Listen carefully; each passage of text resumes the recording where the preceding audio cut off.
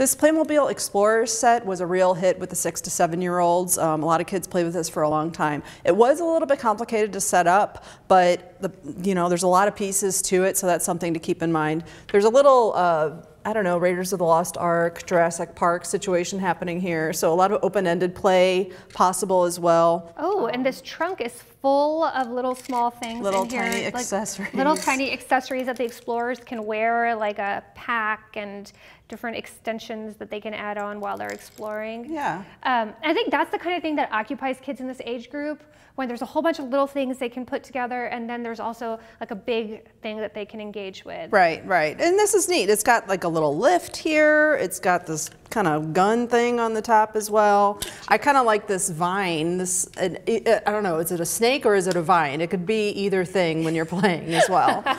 well, and the thing is, Playmobil toys don't take any batteries. I think parents love that. Right. Um, there's no sounds except the sounds your kids are making.